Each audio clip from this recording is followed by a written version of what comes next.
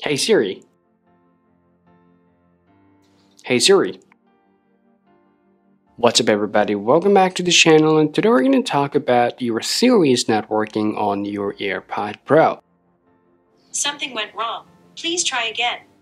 Siri is one of the useful features that everybody needs to use, but the problem is if you can't use it Siri on your AirPod Pro, that can be really complicated problem for you. But hey, don't worry, okay, just relax, because in this video we're gonna go ahead and show you some cool way to fix your Siri is not working on your AirPod Pro.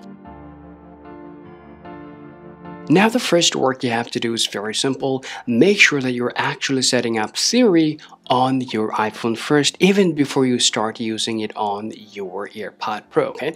Now on your iPhone the first work you have to do guys just go ahead and tap your settings and then scroll down to your Siri and search. Tap on there and then make sure you're enabling Hey Siri and also you're enabling all of those options right here. As you guys can see that we have already enabled these features on our iPhone okay? So make sure you're doing the same things.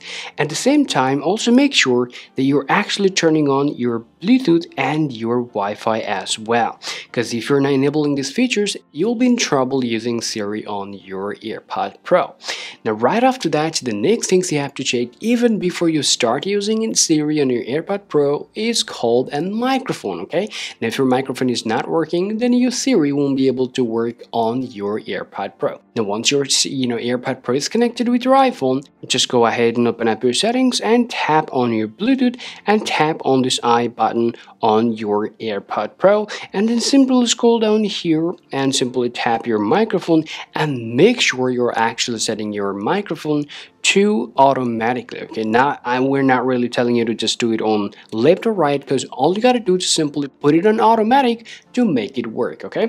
Now right after that guys all you have to do simply just go ahead and put your AirPod back to your ear to check whether your Siri is working or not. Now, let's see how this, you know, placing your ear pod on your ear but it's not working at all then the next things you guys gotta do just go ahead and just uh, simply forget this device from your iPhone and then reconnect it back to your iPhone again. Now just go ahead and tap your settings tap your Bluetooth and then tap on this eye icon and simply scroll down all the way to your forget this device hit forget this device and lastly tap forget device and simply just go ahead and just place it back in there and simply go ahead and press this button for around 15 seconds unless you see the color changes.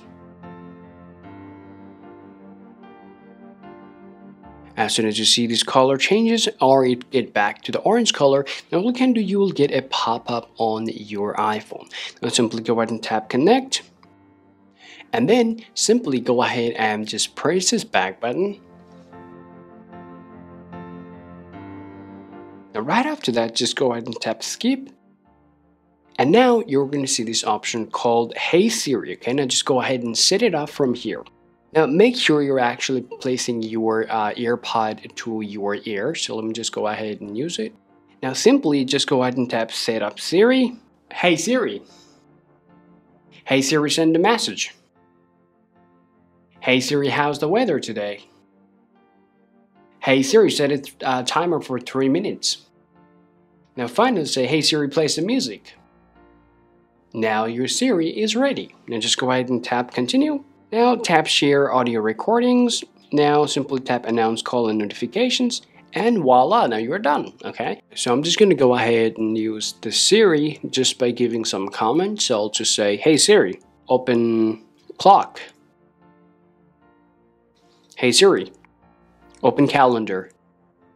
Alright guys, so as you guys can see right now, I'm using AirPod Pro right here just to navigate Siri to do that work for me, okay? So after doing all of the process guys, we can tell you that your problem will be solved and you'll be able to use your AirPod Pro back to normal again. Hope this video is useful guys. If you think so, be sure to leave a like and subscribe to the channel to get more useful video content for yourself. Thanks for watching and we will get back to you guys soon.